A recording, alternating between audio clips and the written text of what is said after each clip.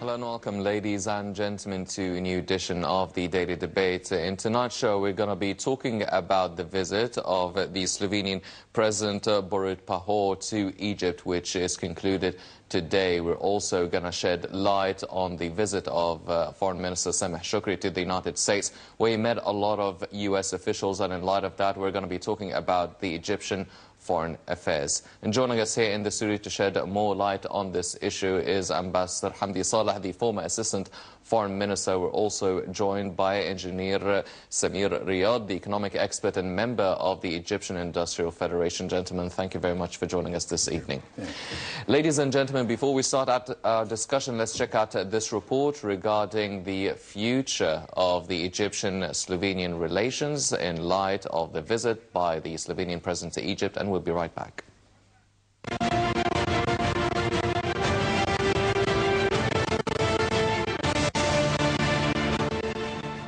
President Abdel Fattah el-Sisi received his Slovenian counterpart, President Borut Pahor, in Cairo in the first official visit by Slovenian president to the country. During their encounter, the two leaders discussed ways to boost cooperation between both countries in various fields, in addition to important regional and international issues of mutual concern. Following their talks at the presidential palace, they held a joint press conference in which they stressed the significance of boosting bilateral relations and coordinating efforts regarding a number of regional and international affairs. President Pahor also met with the Prime Minister Sherif Ismail and Parliament Speaker Ali Abdel during his visit, which concluded on Tuesday. During his stay, he also attended a meeting of businessmen and representatives of 13 Slovenian companies taking part. During the two-day visit, the two states signed several memorandums of understanding on investment, environment, media and consumer protection. Slovenia's ambassador to Egypt, Tatia Miskova, has hailed as important the visit by the Slovenian president to Egypt. She believes the visit will help boost cooperation between Cairo and Slovenia. She reiterated both countries have always been on very good terms, adding that there are no political or historical barriers between Egypt and Slovenia. The ambassador noted that the volume of trade exchange between the two sides is on the rise and approaching pre-2011 levels. She described relations between both countries as excellent, as Egypt is the only African and Arab country which has an embassy open here. She said that after political circumstances in Egypt improved following the revolution, Slovenia elected a president and parliament and the constitution was modified, which was the perfect timing for the Slovenian president to visit Egypt.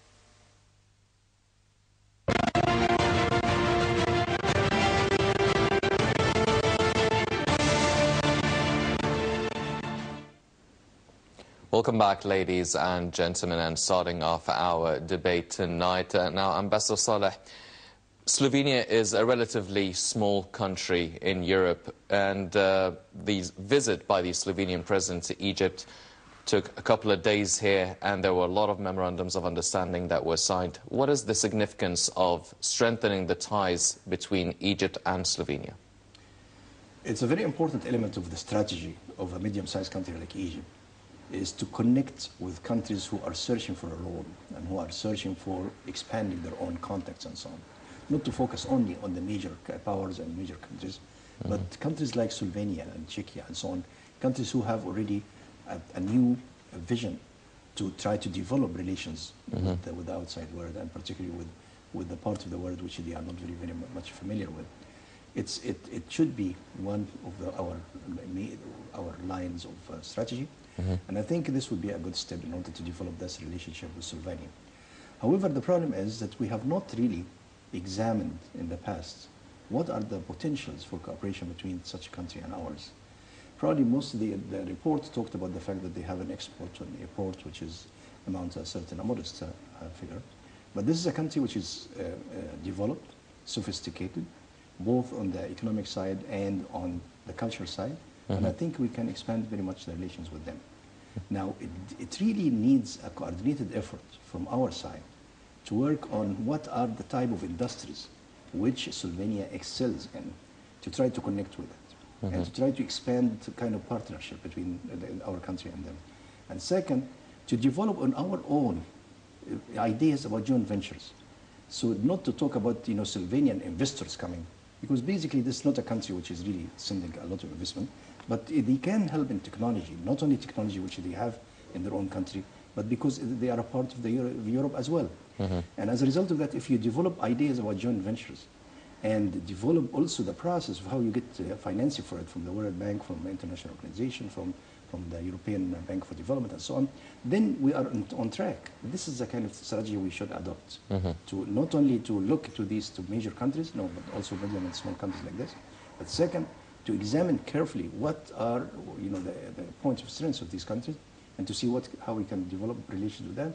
And third, not to talk about it in terms that we are waiting for you to come to invest. This is not the way. The idea is no, we are investing together. We are investing in, in joint projects, which might be part of it in Slovenia, part of it in Egypt, and the financing is available. And when you have, uh, and you know what you call doable projects. Well, Engineer Riyad, do you feel that um, the presidency really made a lot of visits to many countries around the world, trying to uh, sign a lot of memorandums of understandings? Uh, really, the country worked on a lot of economic conferences, at, attracting or at least inviting uh, businessmen from other countries to Egypt and sending Egyptian businessmen to other countries. However, the case with Slovenia, as Ambassador Saleh said, maybe it's well-known country for strong investment and investors. Do you feel that it would be best to have some sort of a government-to-government economic agreement in, in terms of sharing the, uh, the know-how and the technology and the technicalities? And that way, maybe we'd, we would eliminate the, uh, the problems of the investment law and the bureaucracy, the bureaucratic problems that foreign investors uh, have when they come to Egypt. Well, as Ambassador Saleh mentioned, you know, we have to explode what can be done between both of those countries. Since this is a, a member of the European community, mm-hmm.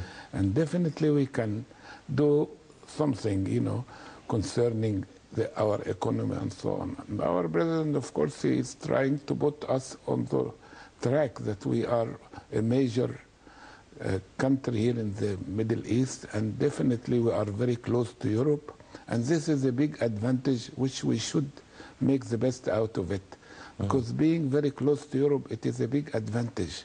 And let us see what we can do, you know, because our economy needs support, needs, you know, and our education needs support, and our training and the, you know, technical trainings needs support.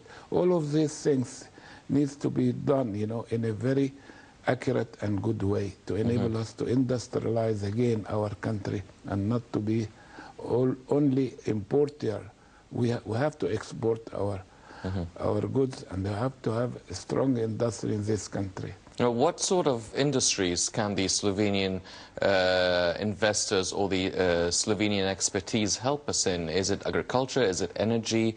Is it uh, infrastructure? How do you see it? I'm, I'm not sure about, you know, but definitely being a part of the, in the, it is a country in middle of Europe and ex-Czechoslovakia, it was a very strong uh, industrial nation. And definitely they are very close to, to Germany and to Europe.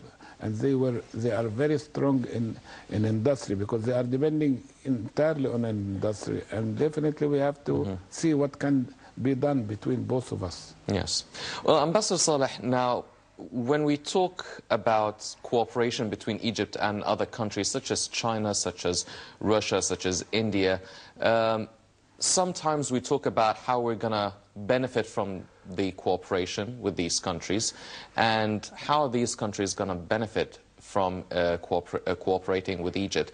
A lot of the times, other than the economic advantages that they could get, there's also some sort of a political support that they would uh, get from a major regional power such as Egypt. Do you feel that this is the same case with Slovenia? Would we offer some sort of a political uh, support to the country? Do they need a political support? Because it doesn't seem that they are quite involved with a lot of uh, political issues globally uh, taking place right now. I'm glad that in your question you give me a lead to answer. It's a mm-hmm. great, great idea that you know you give me part of the answer which I will have to make. Let me emphasize at the, at the beginning that you know our strategy to really to cooperate with other countries has not been going on the right track. Mm-hmm.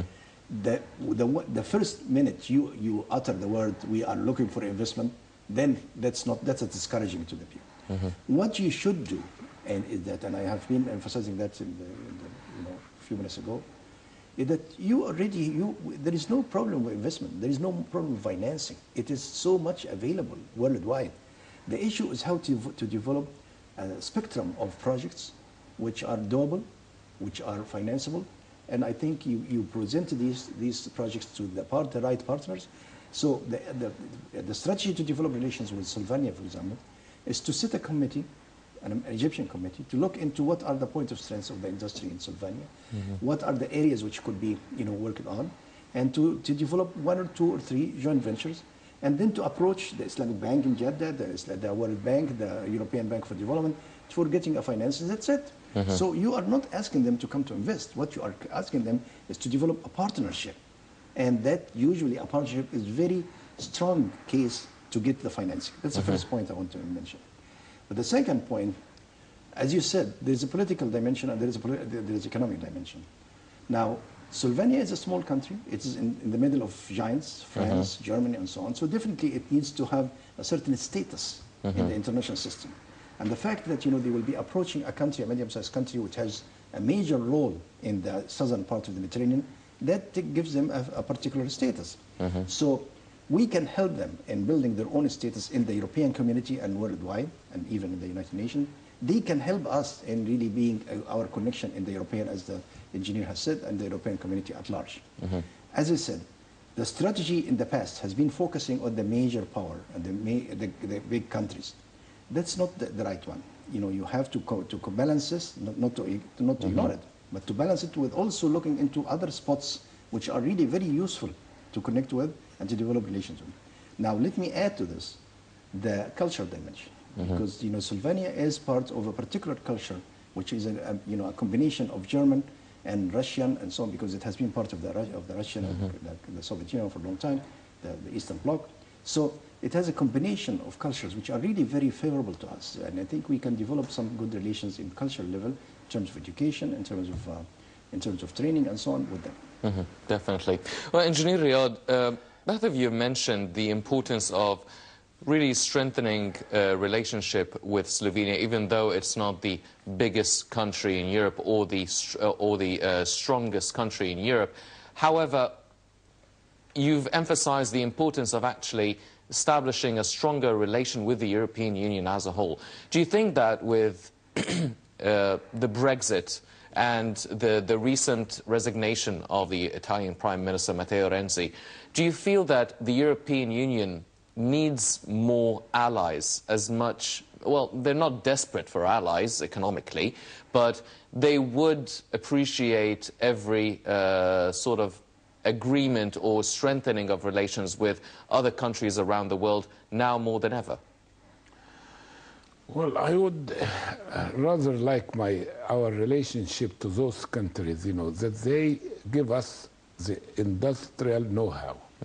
They give us, the, you know, their training, their schools of, of, uh, of uh, what do you call it?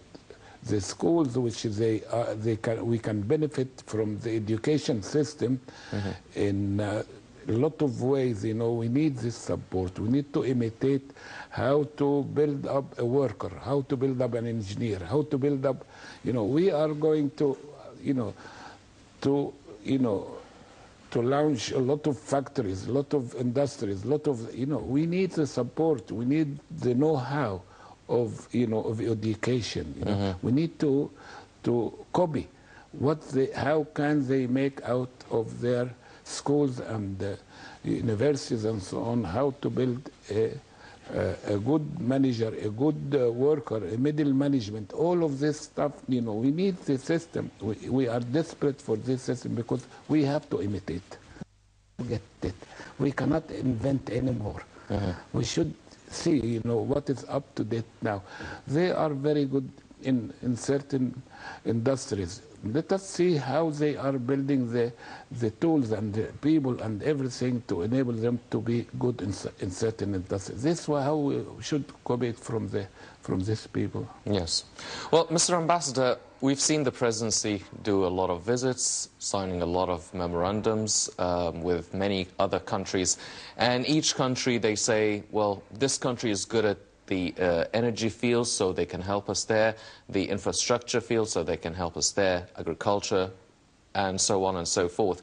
However, with all these agreements and all these visits and all these promises of really trying to change everything here in Egypt from the smaller de detail to the biggest, when are we actually going to see some sort of uh, reform within the health sector or a reform within the educational system? How, when are we going to see actual strong steps taking part in the system here in Egypt? Let me first comment on your first question that you, uh, you addressed to the engineer here. The idea that the European Union needs any kind of support. Mm-hmm. Europe does not need any kind of support. These are political trends which are a very natural process as a reaction to what was going on in the last five years. Mm-hmm. A tremendous wave of illegal immigration coming to Europe, tremendous of efforts, you know, for, for people to really infiltrate the economic system and the political system and even so. So as a result of that, there is this a typical, very natural reaction to have what you call the right wing coming back to the power, pushing forces in France, in Italy, and in, of course in Britain, mm-hmm. and maybe later on in other countries as well, Spain and so on. Now, we should not really be, you know, be bothered by this. Mm-hmm. This is an issue which is a historical process, and it will come later on to balance itself later on. Each country is searching for its own interest, and you know we, we can develop relations with each country on its own, and we can develop relations also with the European Union at large. Mm-hmm. But we should not be concerned about the European Union that they are really needing a support. Mm-hmm. You know, if, yes. if, somebody needs a support, it's not Europe. Now, let me move to the second point, which says, you know, you are, you are very much uh, correct. Mm-hmm. The president, this president, and the former president, and Hosni Mubarak, and the other president have been going everywhere and really starting a process. Mm-hmm. You know, you know, signing agreements. Yes. The problem that you know the administration, the machine behind them, does not go ahead and really try to implement implement these uh, agreements. Mm-hmm. So the the problem comes maybe 80% from our side, that you don't have the, the institutions which can really move ahead and find out what this agreement is about and how we can benefit from it. Mm-hmm. Uh, this has been a problem in Egypt for a long time, not only in, um, in, in the, pro- the, major agreements which are signed by the president himself, but even you know, agreements, for example, signed by university to university, by mm-hmm. small institution and small institution. Yes. You sign and then you forget about it. Nothing happens. Mm-hmm. It's about time that we can revise that approach and see to what extent we can really benefit from whatever you have. It's about time, and I'm calling now on the, the, Prime Minister's office and so on, to develop, to put together a committee to look into these, all these agreements in the past, and to see which one we really can use, make use of it, mm-hmm. the best use of it. One part of the job of any ambassador when he goes to another country is to look into the, uh, the agreements which he had in, at hand and to try to maximize the benefit out of it. Yes. But you know we have so many agreements, as you said, but not not all of it has, has been really, you know used in order to implement and so on. Yes. Now, uh, we should not also rely on the others to change the country here. Mm-hmm. It is, it's, it's really up to us to develop a, process of development and a process of change and so on. And I think the president has made that clear several mm-hmm. times that you know it's all it's up to the Egyptians themselves to really change themselves. Uh, he said that you know we are really in, in, a difficult time because the, the government at large mm-hmm. is not really as effective. Yes. So it is about time to see and we already started the, the, economic reform, but you know, it's also about time to see how we can develop a governmental reform, not only administrative, but a governmental approach. Yes. Well, Engineer Riyad, how do you feel, I mean, if we have a problem of implementation of these agreements or these ideas or these plans, the potential projects, and we have a problem following up, um, then who should solve it? I mean, if the government is not and we've changed, the, we've reshuffled the cabinet quite a few times in the past uh, two years. Now, whose responsibility is it to change the administration, to change the system of following up on all these agreements? We have to, to you know, mention the agreement, who is going to implement this agreement mm-hmm. and how it's going to be implemented. We have to go into the details of everything, like uh, Mr. Ambassador said, you know. This is a very important issue. You know, to mention even the minute we sign the agreement, we have to give it to a committee, to certain people, which is they have to identify who is going to implement it and how it's going to Not, be not implemented. necessarily even governments. Yeah, exactly. private private, anybody, you know, mm-hmm. b- providing that this can be put into action. There is a financial side of it, there is a technical side of it, there is too many things in it. This has to be sorted out. You know, mm-hmm. to sort it out, and then you give everybody the job, and then follow it up closely to enable you to get the benefit out of this agreement. Mm-hmm. Otherwise, as I said, it is only a signing saying is not enough. Yes. Well, Ambassador Saleh, now Slovenia actually joined the European Union in 2004. Do you feel that the most important things, as you've mentioned that with all the presidency's visits globally, it's really about a, di- a political dimension or re-establish some, some, some sort of a political role for Egypt. Do you feel that this is probably the main or the main subtext of all these visits and all these efforts, not just political support, not just economic trade, but also establishing Egypt as a, an, as a political powerhouse that has friends all over the globe? Look, Egypt is a medium-sized country. Mm-hmm. It's known worldwide what's Egypt about and what's not. Mm-hmm. Egypt has about maybe five or six million people who are graduates of university. It's respected for its own institution worldwide. I have been traveling the world all, all over, and I see mm-hmm. that you know there is still an appreciation for Egypt. Uh, but also there is there is knowledge about or information about the fact that the, the weaknesses of Egypt. You know the mm-hmm. fact that you have illiteracy, you have this, you have this illiteracy, and so on. So what the president is, trying to do at this particular point is that Egypt during the revolution time lost a lot of ground in terms of really stability, the, the, perception of stability, the perception of what the country can, offer, and so on, and what it's about, and so on. Mm-hmm. So the president visits clarify these issues, re-establish Egypt as you know we are back in our position as a medium-sized country, and it's a ma- major power in the region, the southern the Mediterranean, not only the Middle East, the southern mm-hmm. Mediterranean at large, including Africa and so on. And by re-establishing that, you, you get a cloud, and the cloud affects the, the economic relations, the political relations, the cultural relations. Now, the issue is the president moves, he is carrying the flag, and he's opening the doors. What, what can come after that is, is the issue of the government, the mm-hmm. institution. Not only the government itself, but also the entire society, the civil society, the private sector, the communities, and so on. We have to develop a dynamics which really moves ahead. And in some cases, in other- in other countries, for example, it's actually the civil society and the private sector and so on who goes before the president comes, and the president comes to conclude things. We have to develop a dynamics which can help this.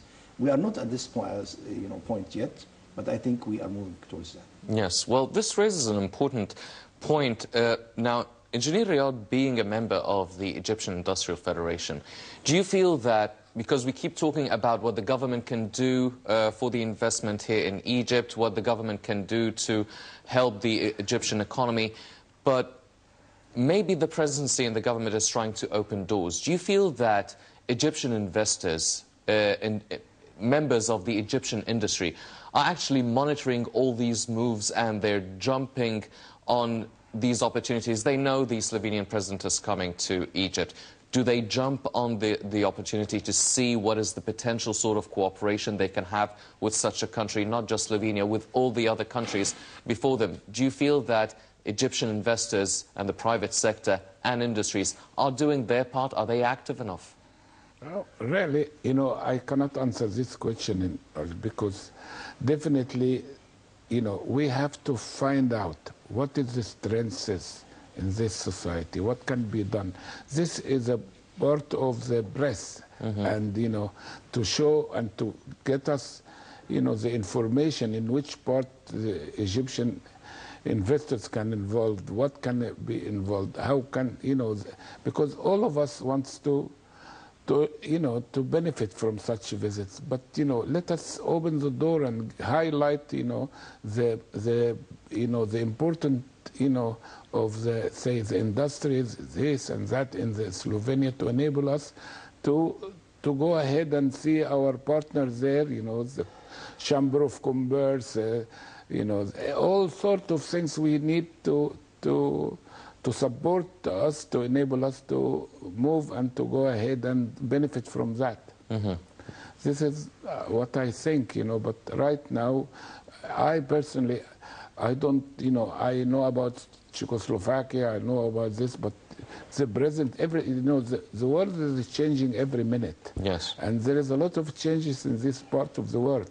And we want to know what is their strengths, what they are, what can they do for us, and what can we do for them. Mm-hmm. How can we cooperate, you know, as a investors, as a partner, as a, as a buyer, as a seller, whatever, you know. Yes, definitely. Well, ladies and gentlemen, definitely there is. Sure, go ahead, want to comment Mr. Ambassador. Yes, very, please. Very good please point do. that you made. If you look into the, the, the business community in this country, Mm-hmm. you find that it's a very limited number of people who are really exposed internationally. And they are really being connected with through the American Chamber of Commerce, the French Chamber of Commerce, and so on. You don't have a mechanism, an institution, a unit, which really can expose the, the large you know, population of the, uh, the what you call Egyptian Association of, of, of, of Commerce, or a very large number of business people. They don't have an, a way to connect with the, with the delegations coming from abroad or to understand what's going on about it and so on. Mm-hmm. I want to give, to give a particular example of what's happening in the United States. In each state, in Texas, in Florida, and whatever, there is an office called an Office for International Business, which mm-hmm. tries to help the business community in their own state, in their own you know, community, county, and so on, to connect with people who are coming from abroad. Mm-hmm. We don't have that. We, we should have that. We should have an institution which is expanding the horizon in front of the business community in this country here to see what is the international potentials and mm-hmm. to tell them what are the practice of the international business abroad and how we can, they can go about it. Mm-hmm. Not in the typical way of the Egyptian mentality where you are re- really making a, you know, what you call a, a pound for a pound, a, a dollar mm-hmm. for a dollar. No, you have to have a, a more, you know, long-term horizon and to see how we can develop that and the government should be behind it. Yes. Well, definitely, the Egyptian investors should share a certain vision for the economic future here in Egypt. And not only that, the Egyptian government has been working hard in establishing strong foreign relations. Quite recently, over the past few days, the Foreign Minister Sameh Shoukry has been uh, to the U.S., meeting a lot of high ranking officials. Let's check out this report, and we'll be right back.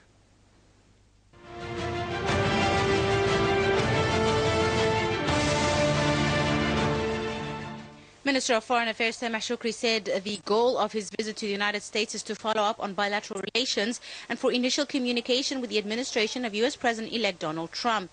He added that Trump's meeting with President Abdel Fattah el-Sisi in September demonstrated a common vision regarding several regional issues. He said it is obvious that the new U.S. administration will follow the same steps as Egypt regarding regional issues including terrorism. The minister noted that he discussed the U.S. military aid to Egypt with congressional committees as this aid needs to be increased due to the challenges Egypt is currently facing. During his visit, Shoukry met with the Speaker of the U.S. House of Representatives, Paul Ryan, to give him an overview on the economic, social, and political conditions in the country. The minister gave him an overview of the situation in Egypt, and Shoukry further explained the social and economic reforms undertaken by Egypt and their importance in restoring and restructuring the economy. For his part, Ryan requested to convey a message of support to Sisi from the Congress, adding that he's keen to visit Egypt to bolster the depth of bilateral relations. The visit also included meetings with Republican and Democrat leading figures, upcoming U.S. Vice President-elect Mike Pence, current U.S. Secretary of State John Kerry, and several Congress members. Shoukry delivered a speech at the forum organized by the Brookings Institute's Saban Center for Middle East Policy. In his speech, he discussed Egypt's foreign policy towards the ongoing problems in the Middle East. He added that Egypt supported systematic changes following the 2011 revolution that aimed to change decades-long unaccepted reality, stressing that these changes led to the integrity and stability of Egyptian institutions, unlike what happened in several other countries. The top diplomat also tackled the Syrian crisis, saying that Egypt's vision of a solution to the current turmoil in Syria lies on two main pillars. The first is to preserve national unity and territory integrity and to prevent the collapse of Syrian institutions. The second is to support the aspirations of the Syrian people to rebuild Syria through a political solution.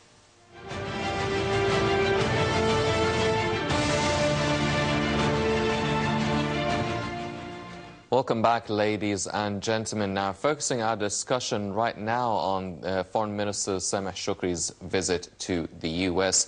Now, Engineer Riyad, do you feel that this visit by uh, Foreign Minister Shoukry, do you feel that this really um, sets the tone for the, uh, the Egyptian-U.S. relations under President-elect Donald Trump. Do you feel that this should be really dictate the, the sort of dynamics of a relationship between both countries?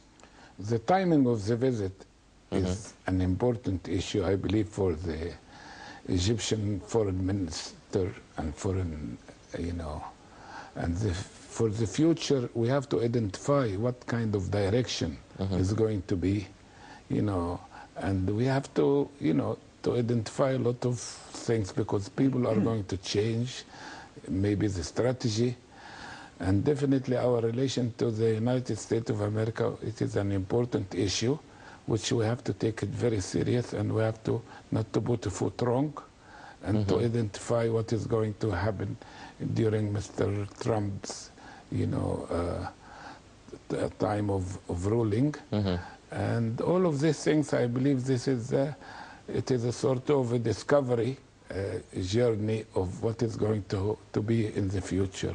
Uh, that is my view. I could be right and I could be wrong, but definitely it's an important visit to set a strategy for our relationship with the United States. Yes. Well, Mr. Ambassador, do you feel that it will be uh, some sort of a different relationship between both countries? Everyone was surprised when Donald Trump won. Everyone expected Hillary Clinton to, if she actually won, the relationship would still be more or less the same as it was under Barack Obama.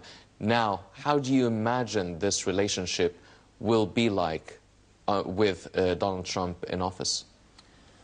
Uh, first, let me emphasize two points. One is that you know America is really now going into a radical change, both on the political level and the economic level.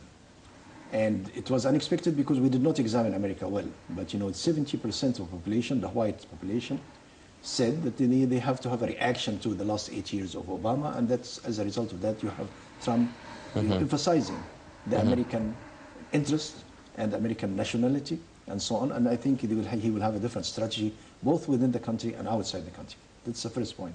So we, the, we are at a critical point. I think it's very important for us to re-examine our relations and to see how we can benefit from that situation. This situation gives you a golden opportunity mm-hmm. and gives you a serious challenge as well. So it's up to you as a country, as a medium-sized country, to benefit from that. Mm-hmm. Second point, we have been allies with America for the last, for the last 50 years. Mm-hmm. We did not develop a team of people who really can ex- examine and study America well until now. And even the, some, the few people who really know America well, we are not using them in, in the right place. So as a result of that, you don't have a, a process to get into the hearts and the minds of America. And I think it, it's about time to do that. It is not enough for the, for the foreign minister to go right away immediately. That's, that's, that's what's called a ceremonial visit, where you really connect, you see. But, you know, it's not enough. It's just, an, you know, opening the doors. And I think what you need after that is to develop a mechanism to really connect with the new America, which has been re- really shaped after the, the last election and so on. Now, to come back to the, to the foreign minister's, uh, Mr. Sameh Shoukry's visit, I think it came at the right time. I think he, he has been trying to connect with the new administration. Uh, but you know, the issue is not only connecting now, because the connecting now, people now are too busy. You know, they are really looking into what, how they can re-establish themselves and so on. They are not ready to listen to, you know, what outsiders are coming to see, to say and so on. But maybe it's just you connecting, getting familiar and really saying we are here. I think the turning point will be a month late, later after the inauguration that President Trump, after he get, takes office, he will invite several presidents of countries to come to visit. And one of them, I, I think, will be uh, President al-Sisi, and that will be an opening for the new relationship. We have to be ready for that point of, of departure, where we can have a dev- we develop a strategy a, with regard to the regional conflicts, like what Sameh Shoukry was talking about in his uh, speech, but B, with regard to the bilateral relations in terms of economic and culture and so on. And I think we have several, uh, what you call common co- causes between us and the new administration. One of them, the major one, is really to defend civilization against the extremism and against you know all this violence and terrorism and so on. This is this has been the, the, the uh, articulated uh, you know goal of the administration of, of uh, President Fattah al-Sisi, and it is the articulated goal of the, the administration of Trump. So I think we have a particular goal which we share together.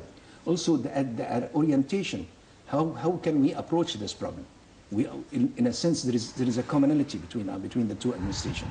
We have to approach it not only politically, you know, militarily, but also politically and culturally. So I think we can build on these things, but we need to develop now a strategy to move on. Not only just a, a, you know a visit one or two, but to develop a process. Yes, and we'll definitely be talking about that uh, later on as well. Now, Engineer Riyad, uh, Foreign Minister uh, Shoukry actually met with John McCain, who is the chairman of the House of Representatives Armed Service Committee. Do you feel that they might be discussing the uh, military aid that Egypt uh, receives annually from the U.S.? Do you feel that we really need to uh, expand or develop this aid now that we already have a lot of military uh, relations with countries such as Russia, such as France, such as uh, China as well?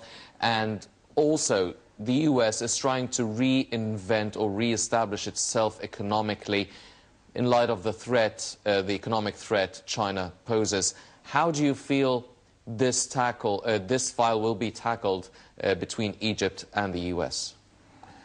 Well, if you want me to tell you the details of that meeting, I wasn't around there, you know, but... But how would you imagine it? I can imagine only one thing, that how Egypt going to be economically strong mm -hmm. to enable us to penetrate through everything and everybody will respect us and our relationship to United States and so on. Of course, we need support from United States military whatever it is, I'm not sure. But we are diversifying the, the, the, the buying. We are buying from several other countries as well. but definitely, United States is our major supply of, you know, of uh, uh, military equipment once mm -hmm. upon a time. And I am not sure if we need them to that extent now or not. But definitely the, the new, the future Mm -hmm. You know, and to establish a good, you know, good relationship with the new, you know, with the new team and the new government of the of the United States will be of an important to us. Mm -hmm. Do you think this is why uh, the the people chose uh, a candidate who has more economic experience than political one? Definitely, this man is going. We it is a lot of question mark about Mr. Trump and Mr. and Trump's choices and so on. But definitely, the experts can see through what kind mm -hmm. of policies he going to adopt, and definitely we have got you know, good people here to read what is going to happen. You know, and you know, and they put the right strategy to enable us to benefit from it. Since he is, there is a lot of common between us as the Egyptians, uh, mm -hmm. you know, uh, uh, directions and policies and Mr. Trump's ideas. Yes. Well, Mr. Ambassador, now we've said before that a lot of people were surprised that Trump got elected. However, a lot of uh, Arab political observers and analysts were quite excited about that, much, uh, much more than they would have uh, if Hillary Clinton actually won the elections, because they say he has a different strategy regarding the regional crises uh, that are taking place in Syria and Iraq, and uh, it, it's probably a more direct uh, approach in solving these crises that is shared by countries uh, like Russia, uh, countries uh, like Egypt as well. How do you see the new administration's strategy in dealing with these regional crises surrounding Egypt? First, let me uh, comment on your point about the meeting uh, John McCain. Mm -hmm. John McCain is a very important senator, uh, a Republican. Mm -hmm. He mm-hmm. represents a different of Republicans from uh, Trump. And I think it's a very good uh, point to meet with him. He's the chairman of the, the Armed, uh, Armed Service Committee. the alliance between Egypt and the United States in, in exchanging what you call military, you know, hardware and so on is very important. And I think it will continue. The Egyptian army has been developed for a long time now on American technology and American weaponry and so on. I think it, could, it will be developing very fast. Mm -hmm. And I don't think there will be interruption to that. Diversification is useful, but in the final analysis, you have to really wrap up all these things together in creating a point of strength for the military uh, institution in this country. To move to the point about, you know, what, what is the difference between Trump and, and, uh, and Obama and Hillary. Now, the, the Trump strategy now will be entirely different, different from the, the Obama administration. The Obama administration was basically saying, well, let us contain the conflicts. Let them fight each other in Syria. Let them fight each other in Yemen, in, in Libya, as long as they don't come to our borders or affect our interests. Let, let them really continue their fighting. So containing the conflicts, it's really a terrible price for humanity. You know, hundreds of thousands of people killed in Syria and Yemen and in uh, Libya and everywhere, and there is no solution. The international community should really have a certain say in this, uh, especially that you know they were you know part of the the problem was basically because of the interference of the major powers, and one of them is the United States interference in, in Iraq and even France and the U.S. in Libya, and you know the problems of uh, you know Iran interfering in, in Yemen. So the problem is not really a regional problem; it has also elements of international interference. Now, Trump comes with a different strategy. Number one, what I understand is that he is looking up to building a traditional you know, alliance between the United States and the major stable countries in the region, Egypt, Jordan, and the Gulf. Mm-hmm. And B, to try to contain the aggressive attitudes of Iran and to try to, to reset the situation with regard to the nuclear agreements and so on. C is to try to find out how can you contain the conflict of Syria. It should not really continue like this, either to stabilize it or to see an, an, you know, some way of, of uh, solution.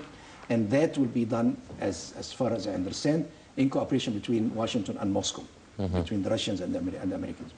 And D is to develop a certain kind type of stability. The Trump administration is for economic development, for prosperity for America, and they see stability as part of really expanding the horizon in front of the American industry and, and American you know, economy. And they don't see the, the benefit at all of these continuing you know, conflicts in the, in the region, which is really exporting to them so much trouble. So I think he will come to stand on the side of stability and on the side of the people who are co- combating you know, terrorism and extremism, which is basically have been advocated by Egypt in a very clear way. Yes. Well, Engineer Riyad, uh, talking about reinventing uh, America's economic prowess, now Egypt has developed a strong uh, relation with China recently. Now, China is the biggest competitor economically to the United States, being the second biggest economy in the world. Do you feel that at any point this could really uh, create some sort of uh, a problem, even a minor one, uh, in dealing with the Egyptian American relations, our strong relations economically with China, and definitely we'll be also offering a lot of political support to China? I, I believe uh, in this century, once upon a time, it used to affect our relationship. But I don't think this going to happen now with this. Uh, you know, the world today, look at America itself. What kind of relationship has got with China? You know, and that is why we shouldn't look at it, you know, with uh, 50 years ago or 30 years ago. We have to look at it as a as a president saying, you know, which I don't think this contradicts with anything, you know. It is mm-hmm. a, everybody is looking after his interest. If there is any benefit for anyone, you know, he should grab it. You know, we shouldn't leave every, any door open to have, a, you know, we, ha- you know, actually, I've, I'm very proud of the way how we- our government and our president is trying to be, you know, to be friendly with every nation, to have connection with every nation, and not restricted to any any side, you know. And this is a, is a good is a good thing. I hope that this will benefit, and we'll get the, you know, the the result out of it, you know, soon. Yes. Well, Ambassador Saleh, now Egypt has strong relations with Russia, strong relations uh, with China, uh, strong relations with the Gulf countries. Uh, the U.S. has up and down relations with many of these countries. Uh, somehow uh, we're talking about uh, another Cold War with Russia, and then they say, well, Donald Trump is on good uh, terms with uh, Russian President Putin. We see um up and down relations with Iran. They first uh, agreed on the nuclear disarmament treaty, and a couple of days ago they extended the, uh, the economic sanctions on Iran for the next 10 years. Now, how Egypt is really playing uh, a very good part, trying to be on good terms with all of these countries. How long do you think we can sustain this uh, relationship? And do we at some point have to pick one side over another that would put us in a deadlock uh, or a confrontation with any of these countries? Look, uh, in the past uh, few weeks, we, I have seen several articles appreciating the idea that Egypt is the only country probably in the region who has good relations with both Moscow and Washington. Mm-hmm. And uh, the fact that you know Trump came with saying that you know Putin is a wise man, and you know Putin said the same thing about him, that reveals that there, is, there would be certain understanding between Moscow and Washington about how dividing the game and how really you can really move in the regional conflicts and so on. And I think Egypt, with its own relations, good relations with Moscow and Washington, can be an effective partner in this. Mm-hmm. Now comes the issue of China. China was not a problem until two days ago mm-hmm. in, term, in, terms of the trilateral relations. And then suddenly President Trump made or received the phone call from the president of Taiwan. Mm-hmm. And then that created a tension between yes. the United States and China. Definitely China will be, will be in a difficult time with Trump. Trump is going to, to have a different way of dealing with China. Now, let me say the, the, the, main point about, you know, people say that, you know, China is competing with America. That's not very true. I mean, America, um, China is competing with America only on a certain level of low and, and mid, middle level technology. But when it comes to high level technology, they are not there.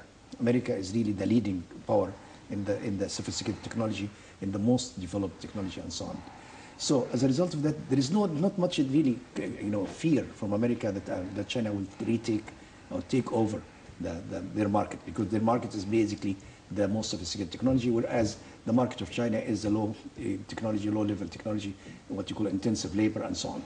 Mm-hmm. Now, our relationship in this trilateral world, where you know Moscow, Peking, and, and Washington will be the major powers in this, is, is very is very important to game, and I think the strategy should really balance things off.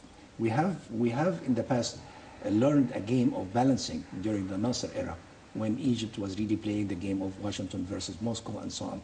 And I think we need to develop a new strategy to see how we can balance these powers together and how we keep a good relations with the three of them. Mm-hmm. Now, as, as engineers said, this is a different word. It's a word which people now appreciate the economic interests and they know the, and the political interests as well. Now, with regard to the, to the region in particular, there would be a different, different you know, well, you know, landscape in the region. The region now is in, in, a, in a bad shape. It's actually full of conflicts in Syria and Iraq and so on. Nobody knows exactly whether Syria will be united again or not, what will happen and so on, what will happen in Libya, what will happen in Iraq. So there is tremendous, uh, you know, uh, conflicts over there, and I think the, the, the process for re- re-establishing stability in the region needs a real uh, major effort from the regional powers, Egypt, the Gulf, and Jordan, and so on, in cooperation with the, with the international community, and also needs a new vision Mm-hmm. And I think that's what really calls for a certain rapprochement between Egypt and the Gulf states, particularly Saudi Arabia, and develop that rapprochement in this critical time. If that doesn't happen, then things will go in a different way because America will make an alliance with Egypt, Jordan, and so on, and develop its own relationship with, with Moscow and the re-establish stability. But I think, I hope we can have an Arab vision for the future of the region. Yes. Well, Engineer Riyad, now talking about really strengthening the economic relations with China, last Thursday, uh, Egypt has launched the Egyptian Chinese Investment Businessman Forum which really works on strengthening, uh, practically strengthening the, the, economic relation between Egypt and China. Do you feel that there are two scenarios? Either it's, it, it could put Egypt in some, not a confrontation with the U.S., but some sort of um, we're unfavorable uh, position between both countries in regards of us strengthening the economic relations. Now, the other scenario is that it will put Egypt in a good uh, position where China will be trying to work hard to win Egypt's favor, and at the same time, the U.S. would really try uh, win Egypt's favor economically. Which scenario do you see? I'm in favor of the second one. You know, I mean, the Chinese-Egyptian relationship is needed. You know, actually, the, the Chinese they are penetrating in Africa, mm-hmm. and they are already there. You know, And let us uh, see what can be done. You know, the Chinese, what can they do for us? We have been importing a lot of goods and a lot of things. But definitely, Egypt is an important country in the region, you know, which I, politically and economically, our relationship to the Chinese, I don't, I don't know if the, you know, you agree with me that the, sh- why should we have a, a sort of disturbance with America if we Yes. are, uh, you know, have got an economic relationship with with China. I don't think this is going to affect our relationship to America to that extent, if I am not mistaken. But definitely, if we can benefit from this relationship, let us go and have it. Yes, definitely. Mr. Ambassador, one final question because we're running out of time. Now, the relationship between the U.S. administration and Iran is a very interesting one because it's not just a, a two-way relationship. There's also the, the relationship with the Gulf countries come into uh, this equation. Now, for many years, the U.S. and the Gulf countries were very uh, good allies because of the oil that uh, the Gulf countries can supply to the U.S. However, Iran has been trying to re-establish its, uh, itself as a, a regional power within the Middle East and North Africa. And the United States has sometimes on good terms with Iran, sometimes not. Uh, the, the whole issue of the Shiite-Sunni conflicts taking place, whether in the Gulf, whether in other countries uh, around the region. How do you describe this relationship, the development of this relationship between these three parties? Will we see still the U.S. administration being a good supporter and a good ally for the Gulf states with Iran in the equation? Are they trying to win Iran, uh, Iran's favor over? They recently uh, extended the sanctions, so it's not such a great relationship right now. And Tehran responded saying, well, this extension does really violate the nuclear, treatment, uh, nuclear disarmament uh, agreement. How do you see this, the dynamics of this triangle? I'm glad you gave me all the elements of the answer. Right? Anyway, let me mention here that uh, the, U, the U.S. administration under Barack Obama was focused on containment and cooptation to mm-hmm. try to co-opt Iran.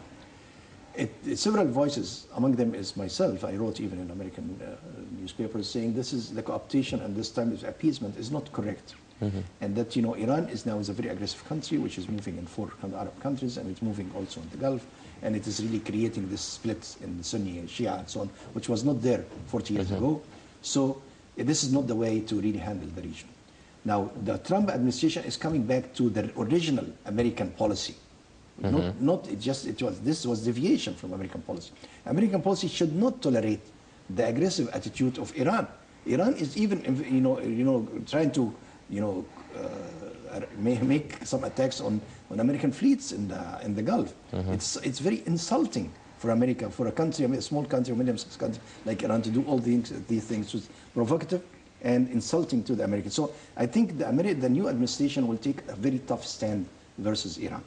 And already they, started that, number one, because of Trump uh, pronunciation, but number two, because of the appointment of the, the James uh, uh, the, the new uh, Secretary of Defense, who's really already have written a book on how to deal with this Iranian aggressive attitude.